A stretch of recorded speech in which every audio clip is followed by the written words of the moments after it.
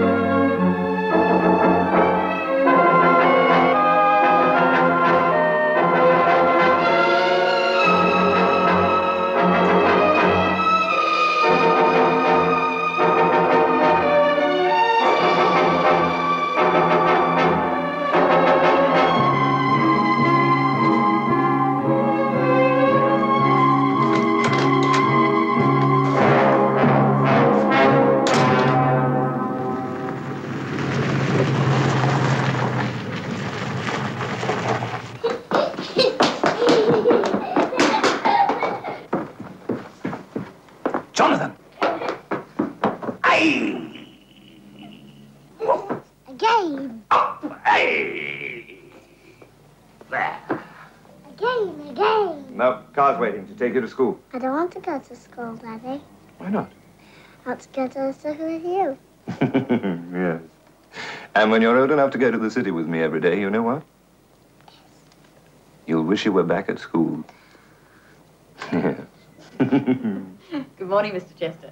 Morning, Robbie. Come on, you. Off you go. And Jonathan, work hard. Come along, Jonathan. Mustn't keep Tom waiting.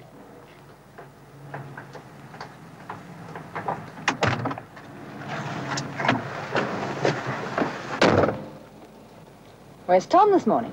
He's had to go to the dentist, miss. I hate the dentist. Do you like the dentist? Nah, not much. Tom lets me start the car. The only way we can get him to school in the mornings. All right, miss.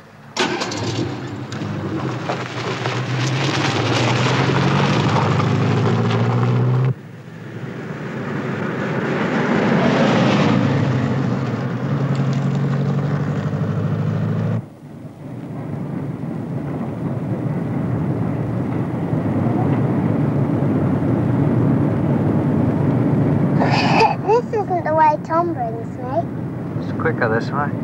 Why? Less traffic. I never mind being late. Don't expect your teacher likes it, though. No, she doesn't. She's always ringing up when I'm late. You often late. I haven't been late for months.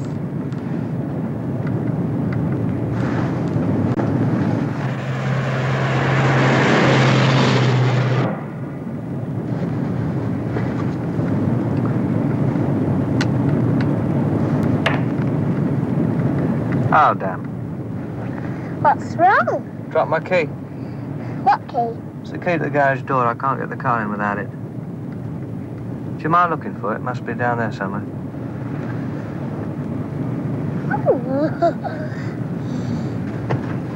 I found something. What? A half crown. Oh, well, you can keep that now. You go down there. You go and find my key.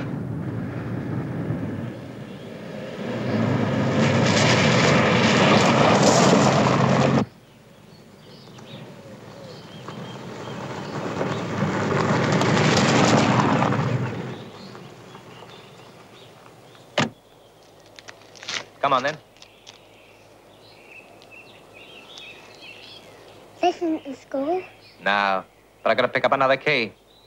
Like to help me look for it, would you? Yes. Yes.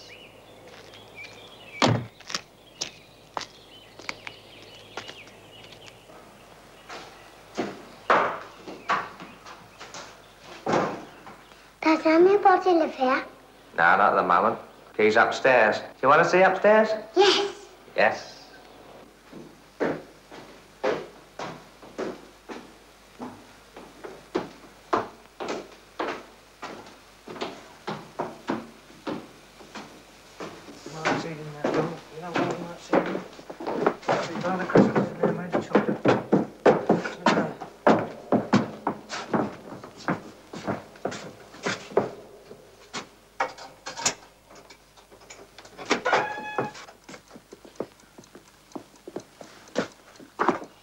Nice room, isn't it?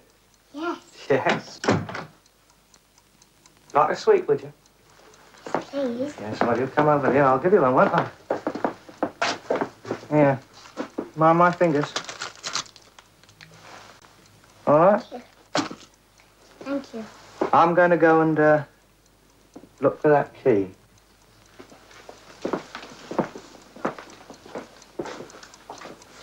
You're going to be all right here, are you? I'll be late for school. No, no, you won't. You come and look at this gollywog. Come on. Pick it up, then. Do you like it, do you? Yes. Yes. It ticks. I know, it ticks. It's special. I'm going to get that key, then. I'll come with you. No, you won't. I want my daddy.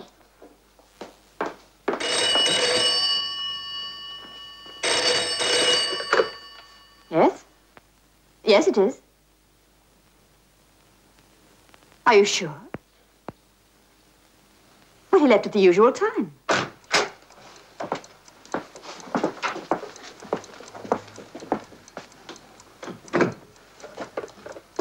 Like to speak to your daddy, would you? Yes. What's wrong, Robbie? It's Jonathan. He hasn't arrived at school. Hello? Hello? Like to say hello to your daddy, would you? Yes. Hello? Hello, Daddy. Jonathan, where are you? Daddy. Come on, give it to your uncle. It's quite safe. Who's that? I'm coming out to see you. I'll be there in half hour.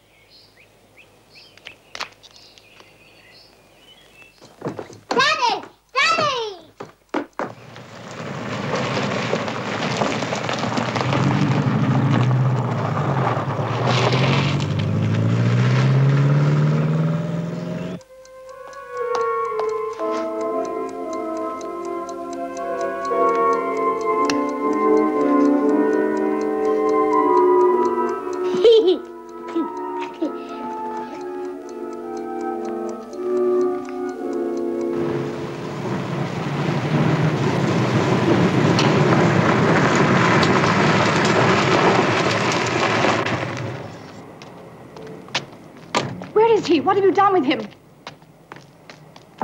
Tell me. I'll call the police. That would be a stupid thing to do. Marlon? Come inside. Now, don't worry, everything will be all right.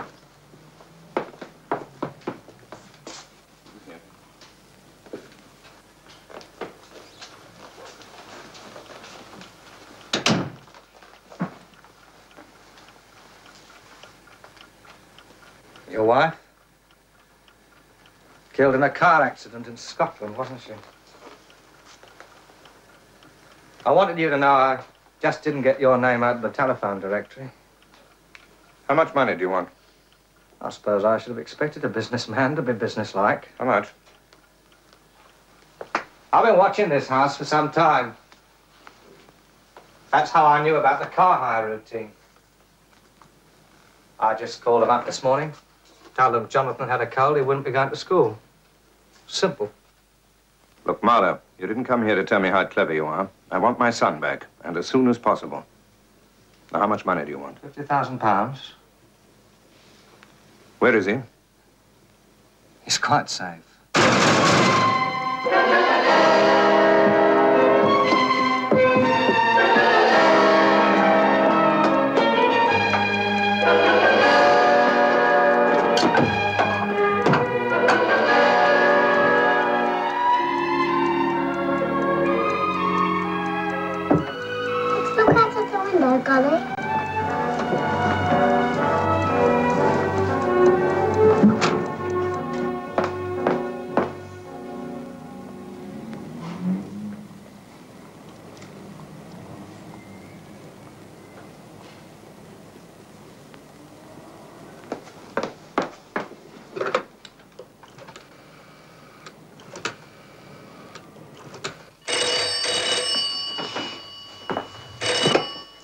Reed Hampstead.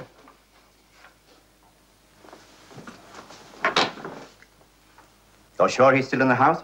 Address? Your name? Robinson. Right. Just keep calm. We'll send somebody over straight away. Jackson, Yes, sir. take over this desk here for a minute, will you? Right. Yes? A suspected kidnapping case has just come in, sir. Address? Chester. Anthony Chester. Well, that'd be him, sir. Did he report it? No, sir, the nanny, Miss Robinson. She was a little hysterical. She said the kidnapper was in the house. Priority. Get me Scotland Yard.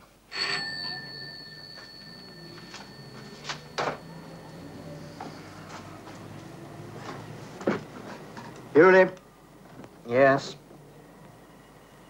How long ago? Give me the address. Yes. All right, I'll get somebody onto it right away. In the meantime, send a Q car down. Tell them not to go inside. Watch the house and keep out of sight. Look, you better make it two cars. If anyone leaves the house, have them followed. Yes, sir? Who's the duty detective inspector? Inspector Parnell, sir. Well, give me Parnell's office.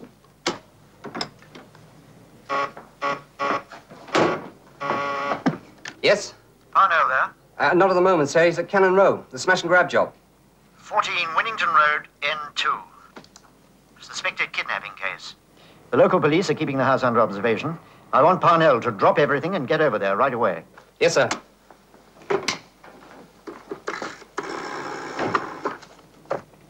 Cannon Row.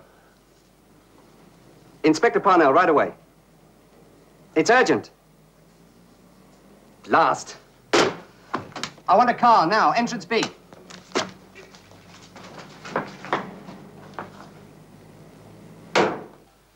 How's the memory, Smiley? Coming back, is it? Well, let's give it a little jog, shall we? Now, you were the lookout.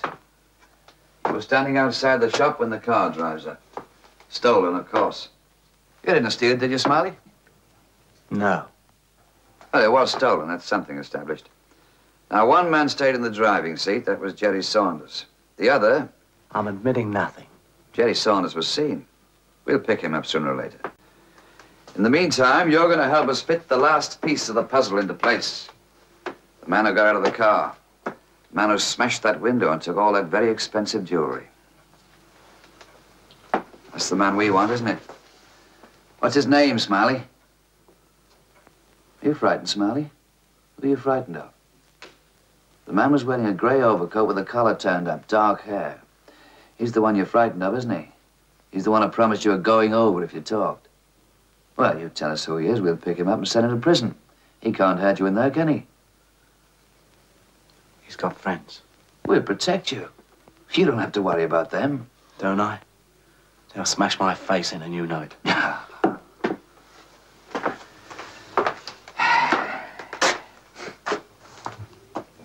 You're not in a hurry, are you, Smiley? You don't have to rush off anywhere, do you? I've got plenty of time. I want to know something, I just go on and on till I get the right answer. Relentless, that's what I am. Cigarette?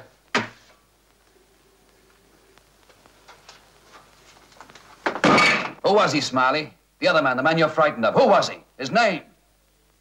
And when you're wasting time, Smiley, I want to know who he is. His name. You're frightened of him, I'll make you damn sight more frightened of me. His name, Smiley, his name.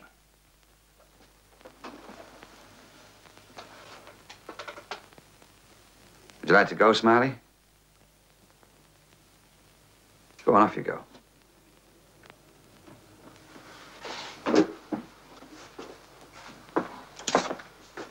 Those friends of yours, the ones you're so frightened of, they'll, uh, they'll probably be waiting outside for you. You think they're going to believe you haven't squealed? They've all been here before. They know what happens if you don't talk. You're kept in here. It's only the ones that tell us what we want to know are allowed out. I mean, they know that you know who that man is. They'll think we know it, too. Well, away you go, Smiley.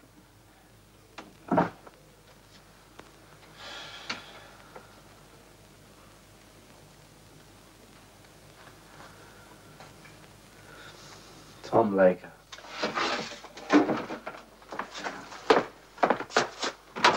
Tom Laker, get a warrant out for his arrest. Have a call put out and pick him up. Is he? Just finished. You feel like a drive over to Hampstead? No, not today. Meeting the wife for lunch. What about him? Book him for withholding information. Lock him up.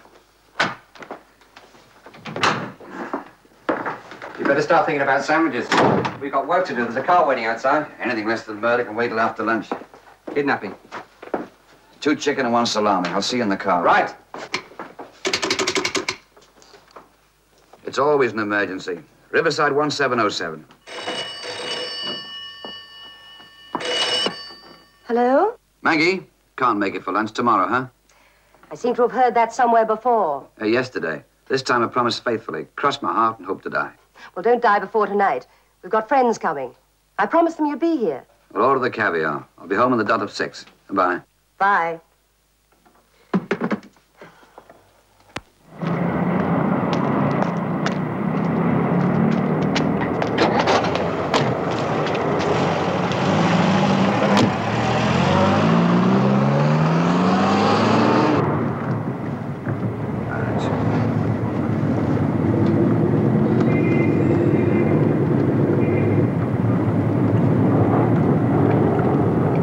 This is chicken? That's what the man said. Bought fresh today. This one must have followed him home. Tough. Very. Fill me in on this case, will you? Suspected kidnapping. The locals are already there keeping an eye on the place. Is that all? At the moment. Who put me onto this? Bewley. When did it come in? About ten minutes ago. Sounds like a bastard. Bewley always drops those like a hot brick. Well, let's hope this time he keeps out of it. Lets me handle it my own way. If it's as tricky as it sounds, you won't see him till the press conference. That's one thing he is good at. As a policeman, he photographs well.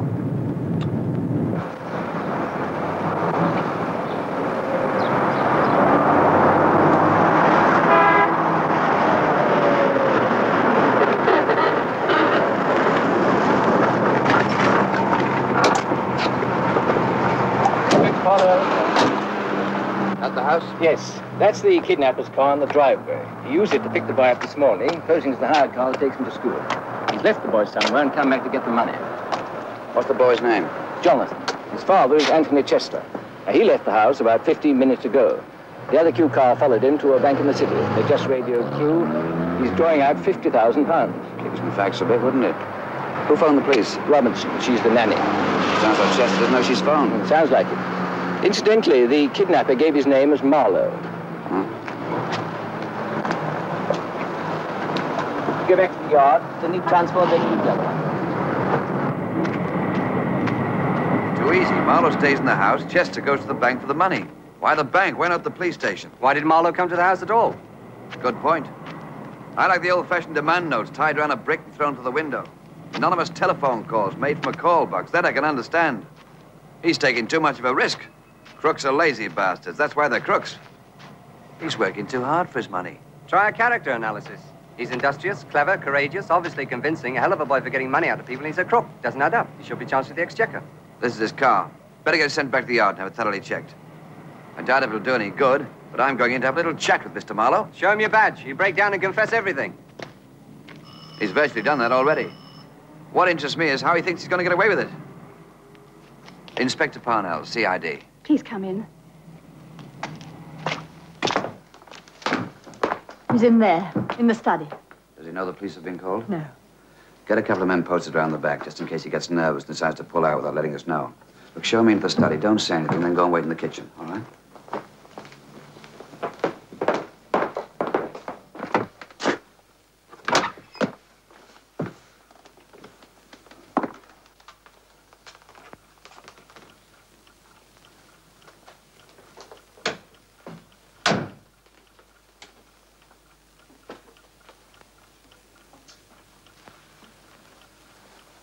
Waiting for Chester, are you?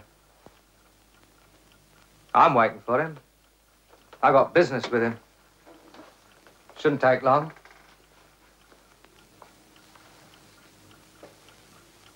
Not in a hurry, are you? I'll be leaving a few minutes after he gets back. My business is confidential. I'm thinking. Yes? I'm working out a problem. Yes?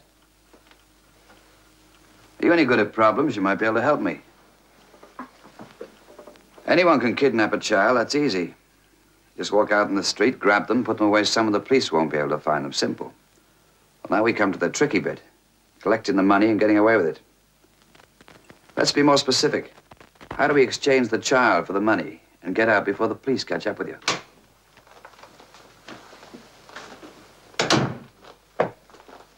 We won't be needing the police. You won't be needing that money, Mr. Chester. You've got to let Marlowe go. Tell him. His little boy's in a room somewhere in London. He's playing with a gollywog. Inside the gollywog's a time bomb. Just like this one. Bomb's set to go off exactly 10 o'clock tomorrow morning. I'll set this one. One minute.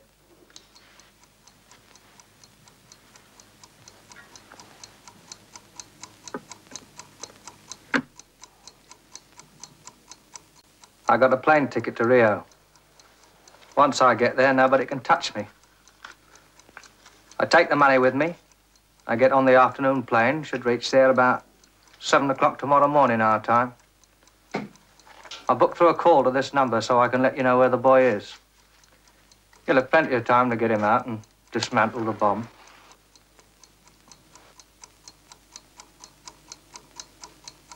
Principle of the bomb's very simple. Works like an ordinary alarm clock.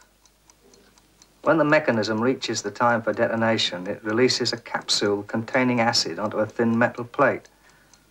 This in turn burns through the plate, makes the electrical contact, releases the charge. The acid's been released. It'll take uh, 20 seconds to burn through.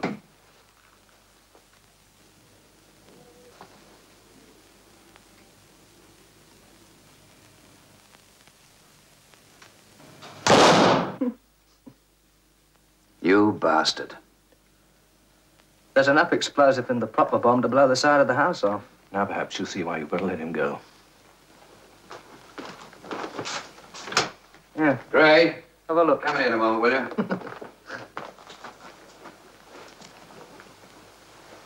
Get this down to the lab. I want it checked thoroughly. Details of how it works. Special attention to the timing device and method of detonation.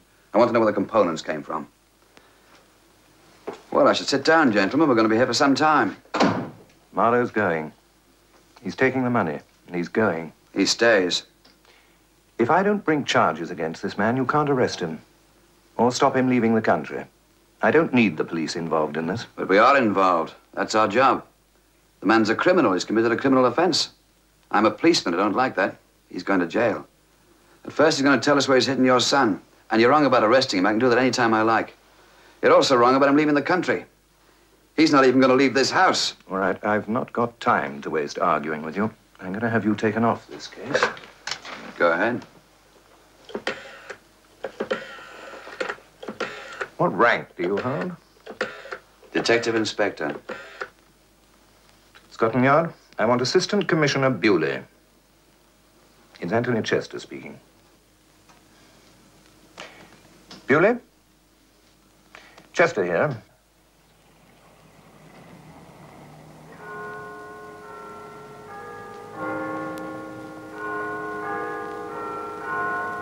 All right. Tell Parnell I'm coming over. Straight away. Thank you. The Assistant Commissioner is on his way over.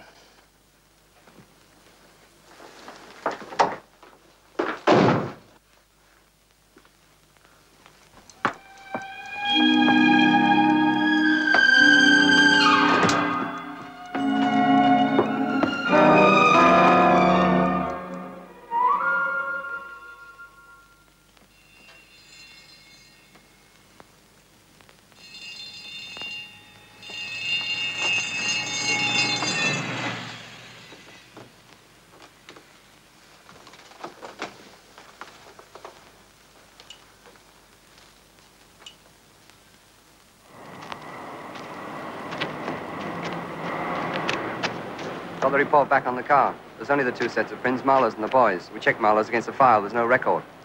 There's nothing in the car that's any help. It was hired a week ago. Firm in Notting Hill Gate. He gave the name Marlowe, false address, paid the deposit in cash, and drove off. The owner doesn't even remember what he looks like, which is understandable. He hires about 50 cars a day. Shall I repeat all that? Would you prefer a short précis? Investigations on car. Dead lost. Marlowe's got the boy tucked away somewhere in a house in London. He's given him a gollywog to play with. Very considerate of him. Inside the gollywog, there's a bomb set to go off at 10 o'clock tomorrow morning. Marlowe's thinking in terms of the afternoon flight to Rio and phoning back to tell us where the boy is. He takes the money with him. Chester's willing to let him go and pay up. I'm not. Conflict. Chester's going over my head. It appears that he knows somebody at the yard. Probably met him at a hunt ball. I'll give you three guesses who it is. Not the most photogenic assistant commissioner in the business. The same. He's on his way over here now. Chester's going to ask him to take me off the case. Quite like old times. What do you want me to do? Arrest him as he steps out of the car? We could probably get him with a parking offense. Take him around the back if you like and wring his neck. It'll save me a lot of trouble. Gray, I'll tell you something. Bewley took me off a case once before. He's never going to do that to me again.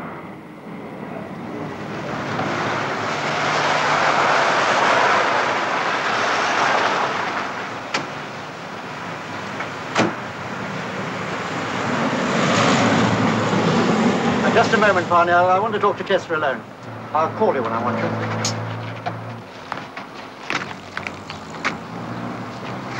That's what I like about the police force.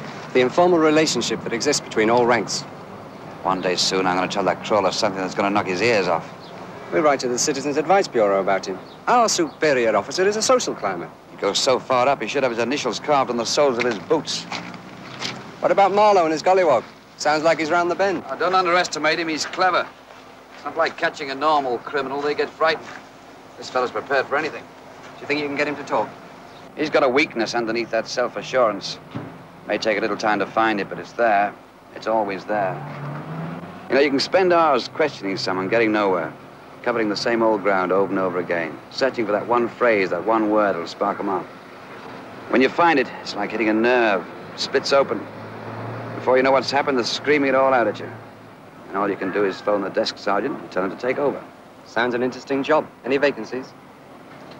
Marlowe will break. They all do in time. You haven't got much time. Parnell? I'll leave you with one thought. I'm with you anyway. Whatever you decide to do, I'll stick by you. But don't get bogged down. By refusing to let Marlowe go, who are you protecting? The boy? Or is it a straight fight between you and Bewley?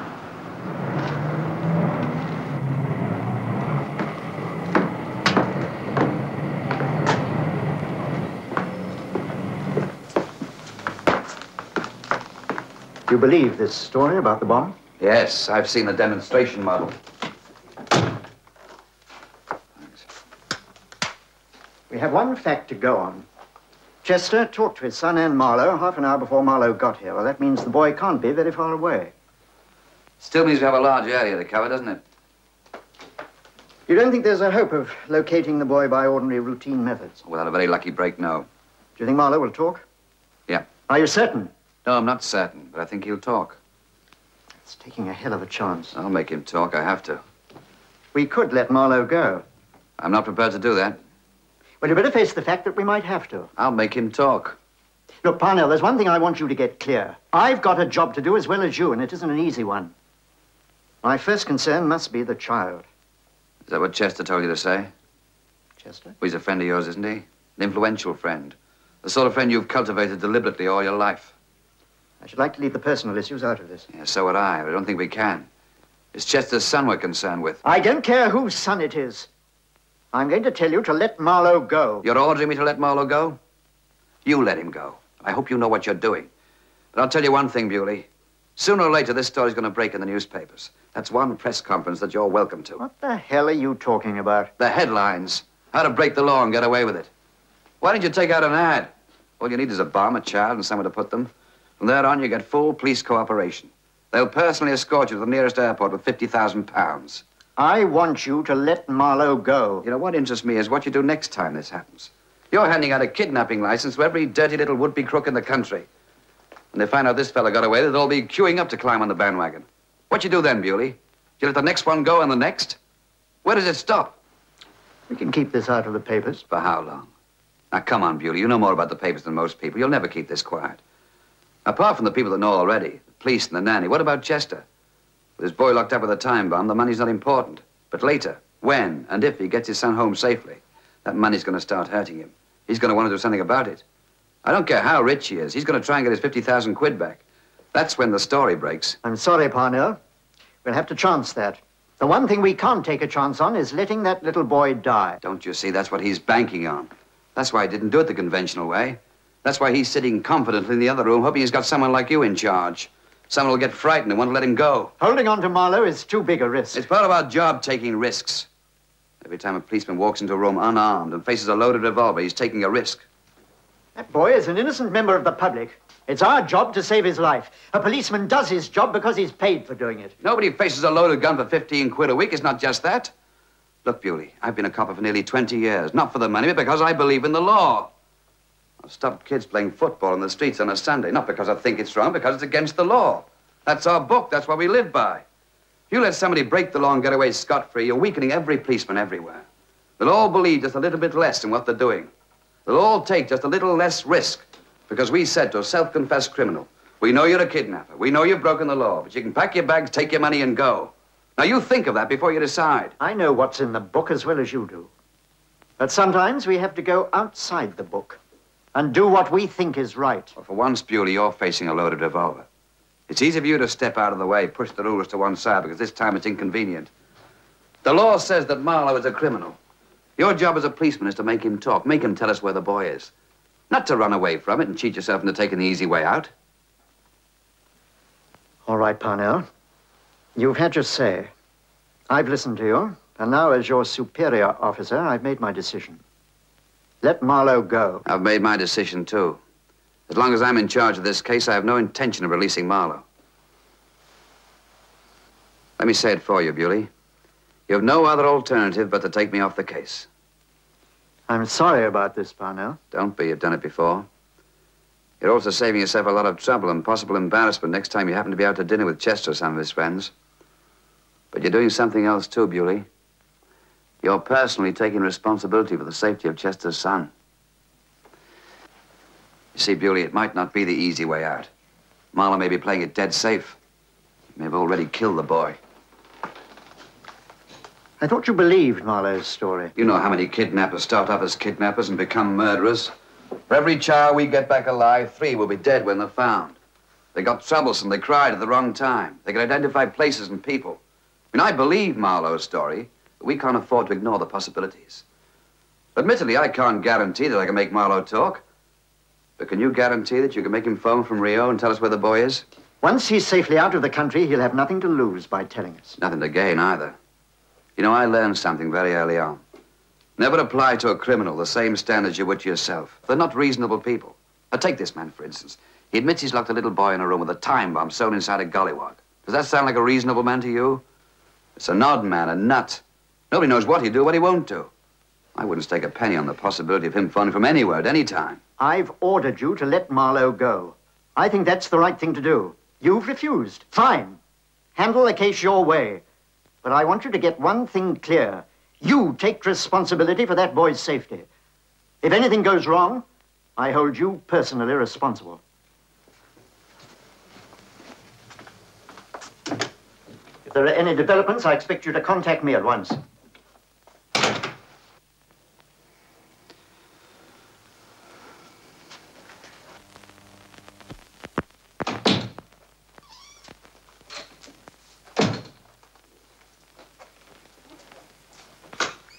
You can forget your trip to Rio. The money goes back to the bank. You stay.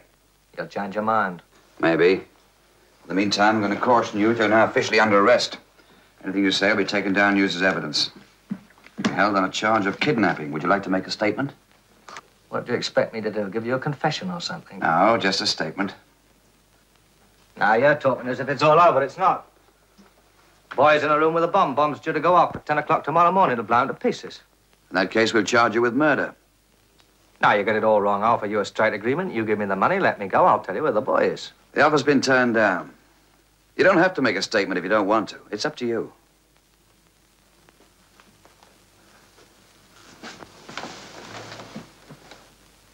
I'm not going to make you no statement. Good. That saves me the trouble of taking it all down in longhand anyway. It's only fair to warn you that if that boy dies, they'll hang you. You're going to let him die, are you? Well, you decide that. You're the only one who knows where he is. I'm not going to tell you where the boy is. So I've gathered. You know, I was watching this house for some time. I had to make up my mind what would happen if somebody called the police. You know what my reaction to that would be. I decided I'd stick to my terms. So either you give me the money and you let me go to Rio, or the little boy will die. It's as simple as that.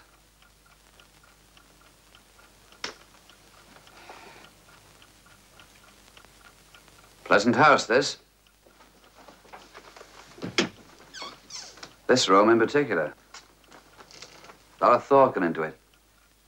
Hey, you got a hand to the chest. He's got taste, all right. You gotta have a, an eye for furniture to conceive a room like this. Yeah. Also need a lot of money, don't you? Very true. How much would you say this desk is worth? It's antique, isn't it? Don't know nothing about antiques. Well, take a guess. Hundred quid? I don't know. Well, how much would you say all the furniture in this room is worth? Seven fifty, thousand pounds? I really couldn't say. How much that suit cost you? I'd say it's about eight or nine years old. I'll take a plunge at ten quid. Am I right? Well, it's good material. Yeah, that's the trouble with suits. Doesn't matter how good the material is if the star's not there. I take Chester's suit, for instance. You see that's handmade. It's well cut. It's got a good line to it. Well, ought to be with all his money. You don't like that, do you? The fact he's got all that money? Good luck to him. What about Chester's son? You resent the fact all that money will rub off on him? Can't bother me. Why'd you put that bomb inside a gollywog?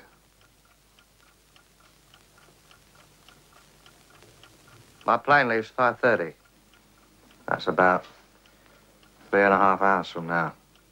Did you buy the ticket or just reserve it? Oh, I reserved it. I pay for it at the airport. With, with the uh, with the money you take from Chester? Oh, yes. How did you learn about bombs? I mean, how did you know how to make that time bomb? Don't worry. It'll work all right. I don't doubt it. Where did you learn how to make it? I made it. That's enough. Why did you put it in a gollywog? No particular reason. Oh, there's always a reason. You put it in a gollywog. Why? Don't know why. You must have gone out specially to look for one. You must have had a reason. No, I just happened to see it in the shop. You also made a point of telling us it was a gollywog. And you could have said it was a toy or just simply said you left the bomb in the room. You made a point of telling us that the bomb was in the gollywog. So what? Well, I'm trying to find an explanation. It would have been much simpler and much safer to have put it in a cupboard or hidden it somewhere. I mean, you said yourself the bomb's powerful enough to blow the side of a house up. No need to go to all that trouble. I like gollywogs. Would have been more natural to chose something you didn't like. All right, then I don't like gollywogs. I expect you had one when you were a child, didn't you? You're banking on the fact that Chester's little boy will do the same thing to as you did, carry it around and always have it near him. Anything you say. You're a weirdo, you are. Who gave it you? Was it your mother? Why do you resent Chester's son? Why should I resent him? Because you weren't so well off when you were a child. You didn't live in surroundings like these. Who did give it to you? Was it your mother? Don't remember. Perhaps your mother gave it to you for your birthday, huh? Don't remember. I've mentioned your mother three times now. Each time you've avoided talking about her. Why? I'll leave off, will you? Are you ashamed of her? My mother and my father are both dead. They were killed in the Blitz. Were you in London during the war? Yeah. Where'd you live? West London. Parents killed by a bomb? Yeah. Or dropped on the house? Yeah. Where were you? Why weren't you killed? Well, I was with a friend, wasn't I? Where? In the country. What'd your father do? He's in business. Your mother help him? Yes. What kind of business? You didn't like the business they ran, eh? It was their life, not mine. Did your father like you? Yeah, reasonable. Same build. Yes, same build. So your mother ran the business and your father helped. Can't remember. Your mother did give you that gollywog, didn't she? I don't know. Well, someone gave it you. It was your mum, wasn't it? Why don't you go and ask her? I thought she was dead. My plane leaves at 5.30. You want to save the little boy's life, I'd better be on it. I can't help you. I'm a policeman. I've got to stick by the law.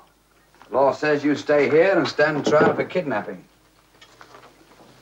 Maximum penalty, 12 years. Ah. Thank you. You're an only child, Marlowe. Yeah. I had a very happy childhood. Nobody kicked me around. You ever met Chester before today? No, never. How'd you know about him? Well, I read about him in the papers. How'd you find his address? Directory of Directors, Public Library. You working entirely alone? No outside help? Well, I don't need any outside help. What you do for a living? Accounts clerk. In the city? Yeah, won't help you to know where it was, sir. I expect you're very good at your job, aren't you?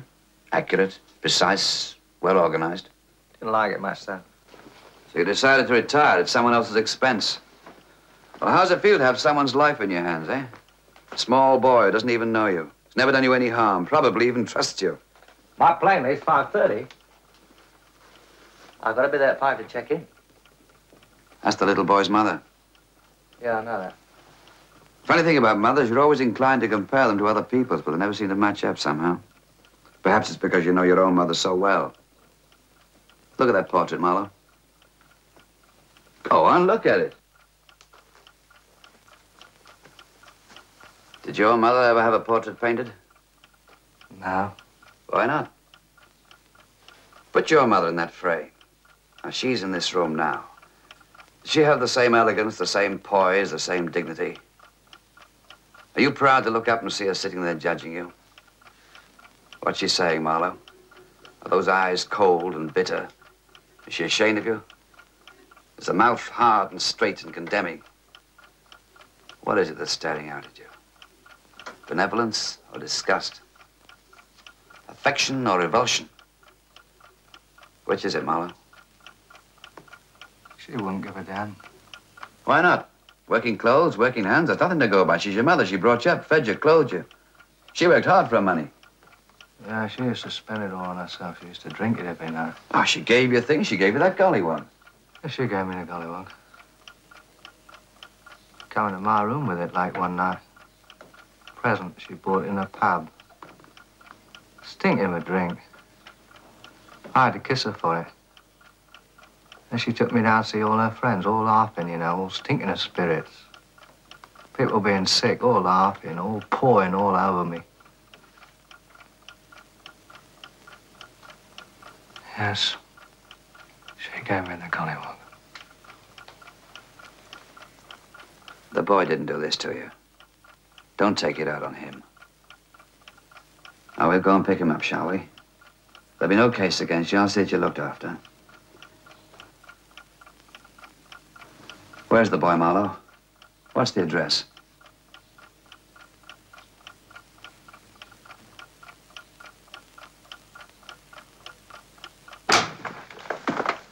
All right, Parnell, you've had long enough. Now let him go. I want my son back. Tell him, man, tell him he can take the money and he can go. Look, there's 50,000 pounds in that case. If you let him go now, I'll give you the same amount. Phone. Parnell. Parnell. Learn something, Chester. You can buy Marlowe, you can buy Bewley, you might even be able to buy me. One thing you can't buy is your son's life. Marlowe gets on a plane. It could be delayed, diverted, it might even crash. He has to drive to the airport. There could be a car accident. What are you going to do about that? Take out an insurance policy? Anything can happen once Marlowe leaves this house. He's the only man who can save your son's life. Whilst he's here, under our control, we have a chance. He'll tell us where the boy is.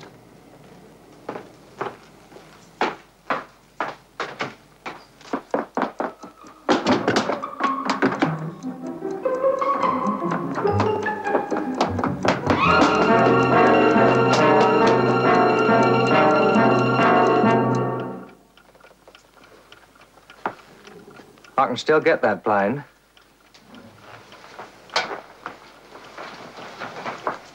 You won't have seen one of these bombs go off. I did my national service in Cyprus. I was a clerk there. I used to have to keep track of all the troop movements, where they kept the tanks, the bombs, where the ammunition was, so forth. They used to have these big conferences. Right in the heat of the trouble, they had one of these big conferences, due to start just after lunch. Well, two of the generals were delayed, so the conference was held up. One of these terrorists, he put a bomb inside an attache case in the conference room. There was only an orderly in there when it went off. They didn't find enough of him to bury. Where is he? Where's my son?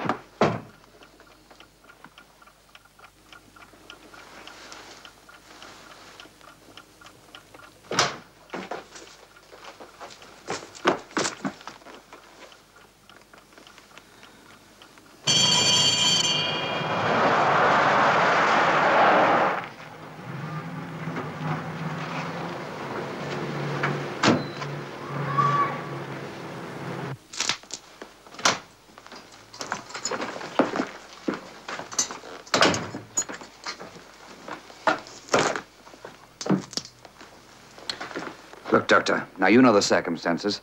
Can't you just pump something into him to bring him round? I don't know yet.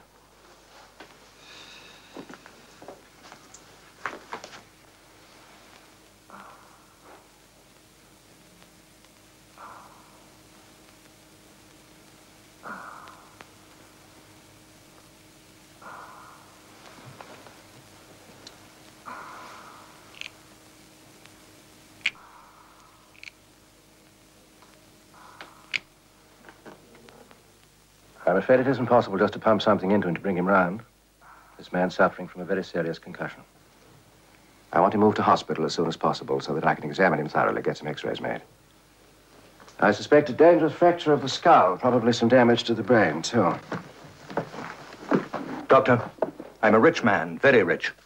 I want you to get the best brain surgeon in the country to see this man, operate on him. Do anything you like, but get him round tonight. I can certainly arrange a consultation with the best men available. If necessary, I can arrange for emergency operating facilities.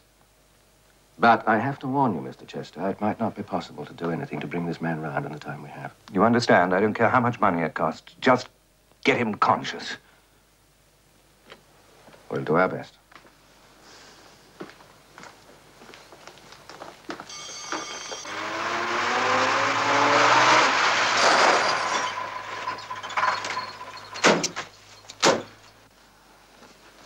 How long will it be before you know anything, Doctor?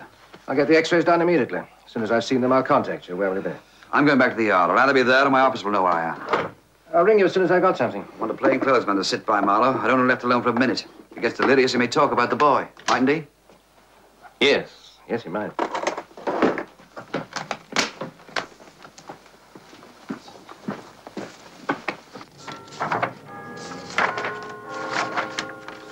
Get that circulated to all the papers. I want a copy on the front page of every morning paper. Right.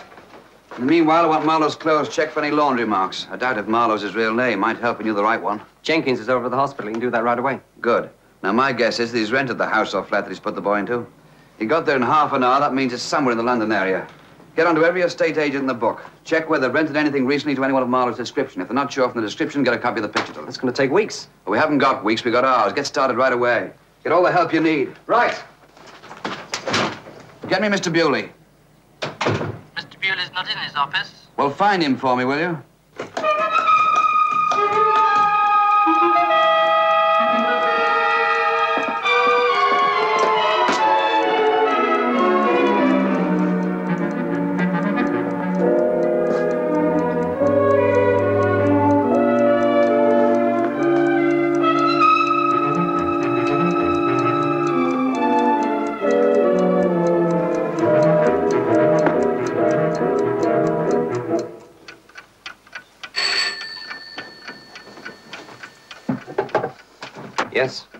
Has Inspector Parnell left yet? it's your wife. Look, I won't be able to get there for dinner. In fact, I don't know when I'll get home. Expect me when you see me.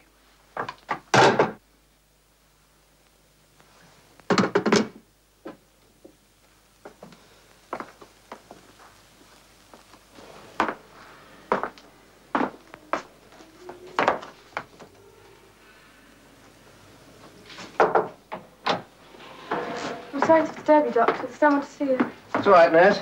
Come in, Mr. Chester. Just got the x-rays. How bad is it? Very bad, I'm afraid.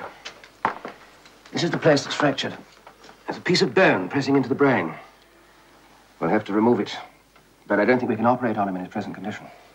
Specialist seen him yet? No, I'm waiting for him now. You mind if I wait?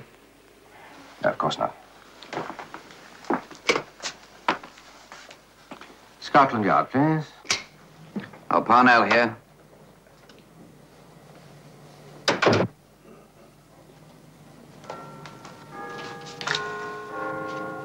All right, thank you, Doctor.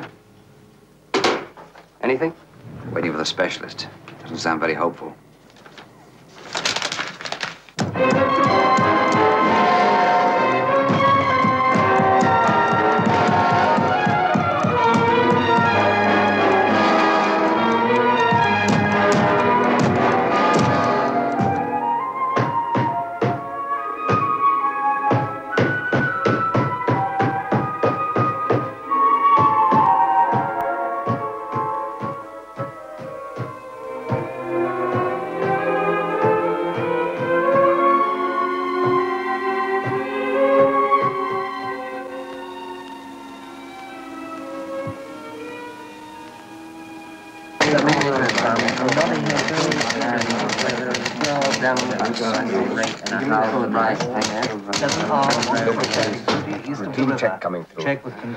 Control. Information for any cars in the vicinity junction west of in Petworth Yes, I'm suspecting break-in at Alamar Some maniac thinks there's been an invasion. Yes. Probably the pubs is just Yes. closed. Right. Have a car waiting for Superintendent Lewis. That's 16. What time do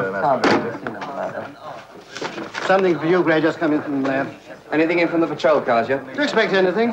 Why don't you start looking for a boy in a house somewhere in London?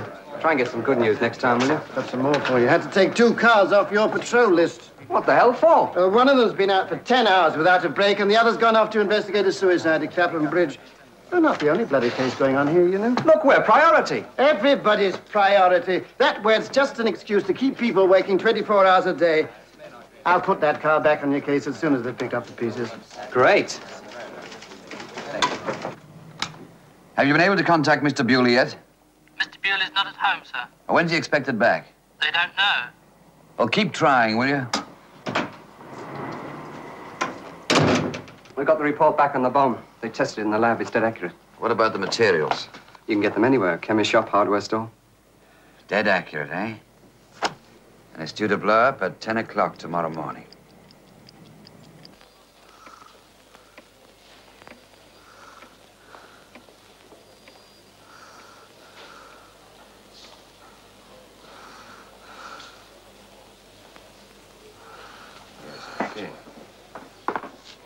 Have you any idea how long it'll be before he comes round? Impossible to say. He may come round at once, he may not come round for days. One thing is certain. He cannot be operated on to relieve the pressure on his brain in his present condition. We just wait. Yes. I'll tell Chester.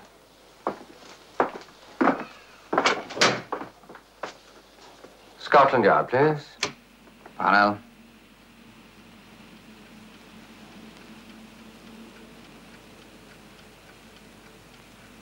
Thank you anyway, Doctor. Good night. Specialist says nothing doing. I don't know when there will be. Huh? Mr. Bewley is still not home, sir. Okay. You should know better. I suppose I should. This is a case gone wrong. You won't get near Bewley till it's all over. Gray. What do you think? Marlowe's a coward. He would have broken. You know what I'd have done? I'd have brought him back to the yard and beaten the living daylights out of him until he told me where the boy was.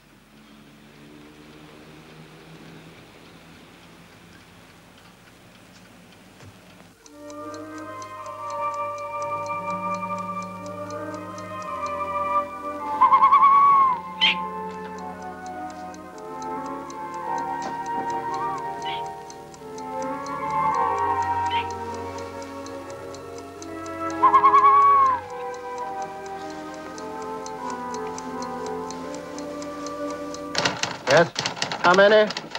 Seventeen. Hold on. Give me that information. Yes? Thank you. Maddox. One, three, seven, one, nine, ten. Right. Now take this call, will you? Hello? Information room. Would you give me... Sergeant Gray.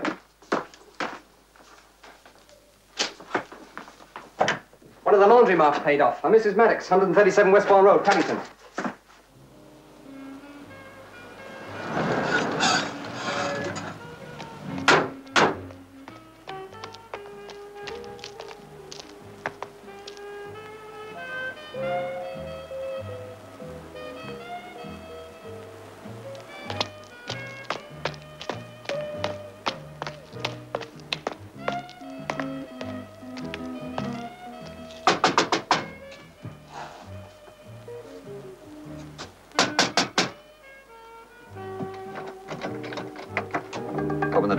It's after time. You heard me. Open the door. You're too late. We're closed.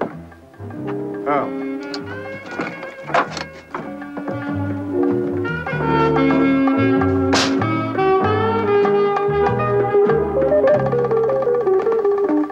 Looking for Mrs. Maddox. Who do you want? Are you Mrs. Maddox? That's me, that's right. Everyone calls me Maisie. I don't know why. My name's Dorothy. Have a drink? Scotch, please. Well, what do you want? Five shillings, please. You know these coppers are our guests, and we can't charge for drinks at this time of night. Pay no attention to him. It's just my husband, Freddie. That's fine. How'd you do? Do you know him? Of course we know him. That's our son George, isn't it, Freddie? That's right. Does he live here? No, he doesn't. No, not for a long time. Years. Does he come around? Only when you want something. No, he wasn't always like that. Used to always bring me things. Now, you know that's true, ain't it, Freddie? That's right. Never came without a present for his old mum. Then he stopped bringing them. What sort of things? Gollywogs. Every time he came, he used to bring me different ones. Always gollywogs. He loved them. I gave him one once, see? It was Christmas. Fred and I was on a pub crawl, and there was this man, and he had this gollywog, see? So I thought, well, I've got a present for George, and kids like presents, especially at Christmas. So I went up to this man. At first, he wasn't going to send it to me. Then I said, I don't care what it costs, I want it. I got it. I'm like that when I make up my mind, aren't I, Freddie? That's right. And when we got home, it was late. And I went up to his room and I woke him up. And he never forgot it. He loved gollywogs. When did you last see him? About three months ago. Do you know where he lives? No idea. I believe he used to live somewhere over Highgate Way, but uh, that was three or four years ago. Well, how often does he come in? Not much. We never know when he is coming. Just drops in, has a couple on the house. If he's got any more money, he buys a few more, and if not, I tell him he can't have any more free, and then he hops it. Oh, no, he never was much of a drinker. I mean, he didn't bother if he didn't have one. More for the company. Couldn't make friends easy. Did he have any friends around here? Not that I remember. What about girlfriends? I never saw any. And you've no idea where he would be living now? No. Oh, he maybe pop in sometime. Uh, shall I tell him you was asking for him? Uh, don't bother. Have another drink. No, thanks. On the house?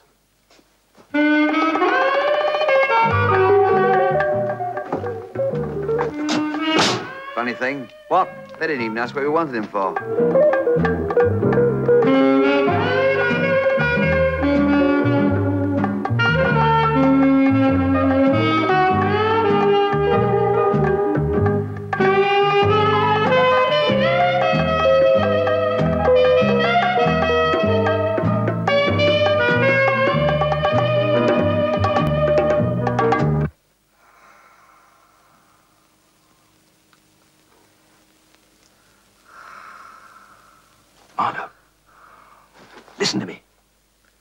My son is. Marlowe, look, I'll see you get away, all right, and you'll get the money, only tell me where Jonathan is. Marlowe, where's Jonathan? Oh, my God. For God's sake, man, tell me, where's Jonathan? Tell me. Marlowe, Marlowe, Marlowe. He can't hear you and he can't answer you. He's in a coma. He's very dangerously ill. He can't help you. I want my son back.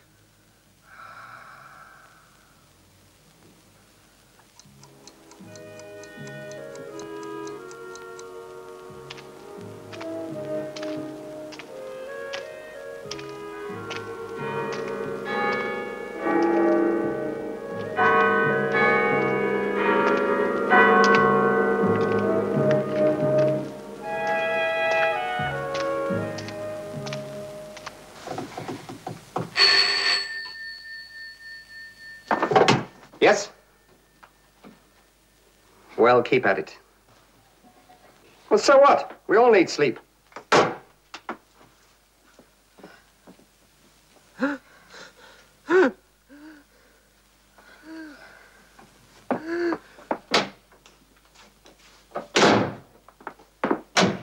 Doctor? Doctor, could you come in, please?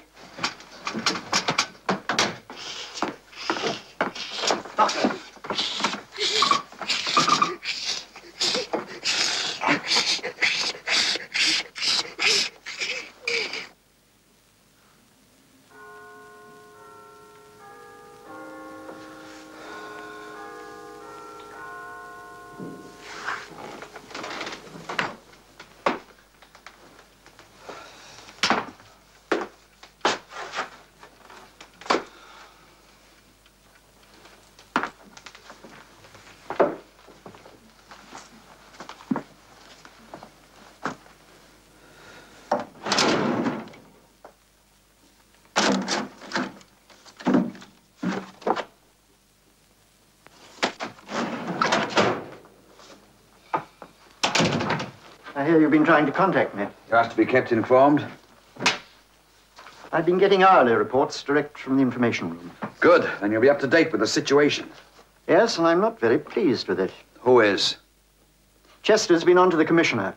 The commissioner's asked for a full inquiry, and he's asked me to handle it. Great. When do we start? I don't think I like your attitude. Don't you realize that this is serious? Serious. I know just how serious it is. I've been working on this case all day. Time is passing. We haven't found the boy. As far as I can see, we're nowhere near to finding him. That's just how serious it is. What's the latest from the hospital? Very unlikely to be able to talk. So what do we do? Look, I've got every man that can be spared making every possible routine inquiry. I found Marlowe's parents. I've seen them. I've talked to them. Well? No, nothing doing. All we can do is wait and hope that one of the routine inquiries pays off. Someone somewhere must know this man. If One of my men gets someone to recognize that photograph. It might lead somewhere. Until that happens, we wait. Tough on Chester. I feel very sorry for Chester. I also feel very sorry for Chester's son. I'm full of feelings of sorrow for everybody involved in this case. When you came in, I was even beginning to feel sorry for myself. Hello, Parnell. Yes? Oh, Lord. Yes, I'm sure you did, Doctor. Thank you. Marlowe died two minutes ago without regaining consciousness. Now you haven't a hope in hell of finding that boy. That's a fair assessment of the situation. And how do you suggest I tell the commissioner about this? That's your problem. Personally, I'm not interested. Then you better start getting interested. And quickly. He's already asked me to find out why you kept Marlowe in Chester's house, why you allowed Marlowe and Chester to remain alone together, why you let this whole situation get out of hand. I handled the case the way I thought best. I wanted to question Marlowe in those particular surroundings for a particular reason. What reason? Ah, it's not important now. I thought I could break him there more easily than I could in the local police station.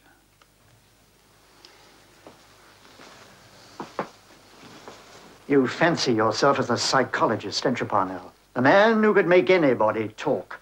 And that's all very well as long as it works. But when it goes wrong, you've got to be prepared to accept the consequences. I'd much rather discuss this some other time, when we've either found the boy or not found him. In the meantime, if you're going to see the commissioner in the morning, I suggest you go home and change. I don't think he'll be very pleased with a dinner jacket in the cold light of early dawn.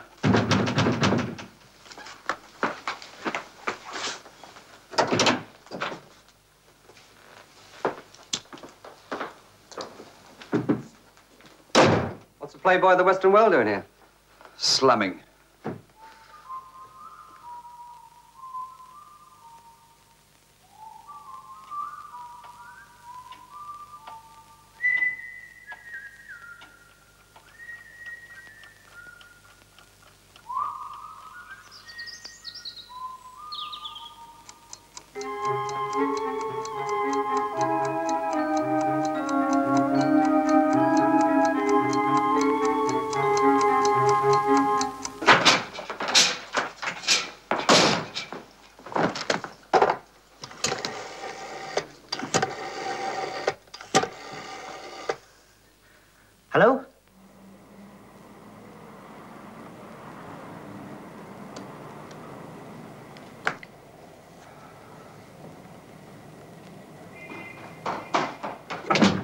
Oh, no, we've got something. An estate agent in Chiswick.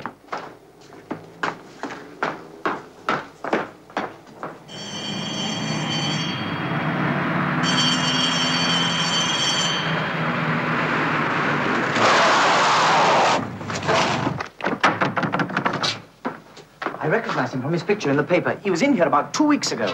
I'm sure it's the same man. Did he rent a house from you? I think so. I don't deal with houses. Mr. Tamplin handles that side of it. Where's he? He's usually here about 9.45. What's his home number? Westlow 5456. Ring him. If this man, his name is probably Marlowe, maybe Maddox, rented a house from you, he'll be in the files. Well, that's locked. Have you got a key? Well, yes, but Mr. Tamplin wouldn't Come let on, open it up.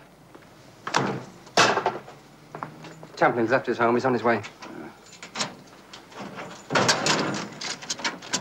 These are the recent lettings. It'll be in here. A Marlowe or Maddox, you said? Yes. I'm afraid there's nothing in here with those names. What about the dates? Can you remember which day he was in here? Certainly sometime in the last three weeks. Well, how many houses you let in the last three weeks? I really couldn't say. Could it be a flat? Could be. Ah, here's Mr. Tamplin now. Mr. Tamplin, we're police officers. Did you let a house or flat to this man?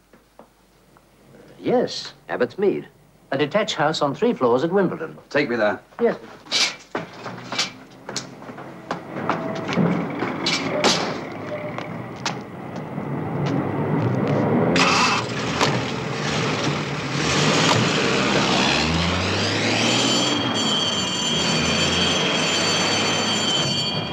Instructions from Mr. Tamplin.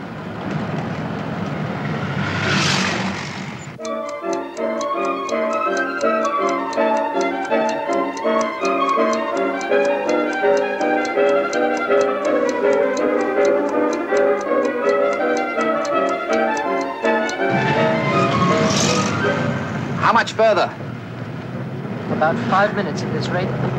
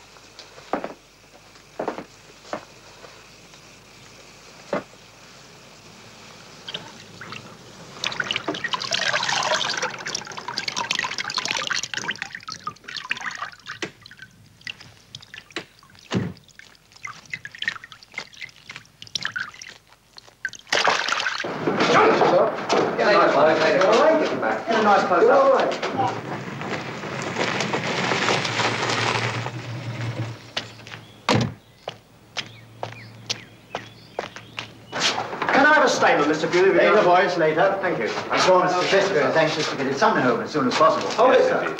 That's all right. Don't worry, son. Come on now. Now stand back, boys. I'll give you a full statement later. Thank you very much, sir. Yeah, I guess we yeah.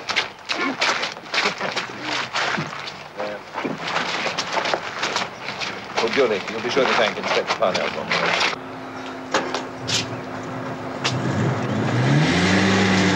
Good show, Parnell. Want to talk to the press? I'm going home to sleep for a week. You talk to them. You're better at it than I am. There's still one or two things to sort out. Will you be at the yard later? Go to hell. I want to see you in my office first thing tomorrow morning. May I have a statement now, Mr. Bewley, regarding this matter? Yes, sure.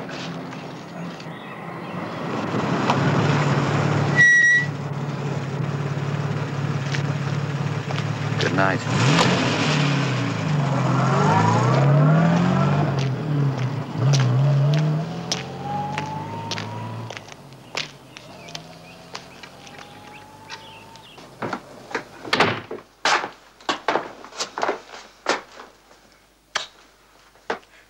Some breakfast.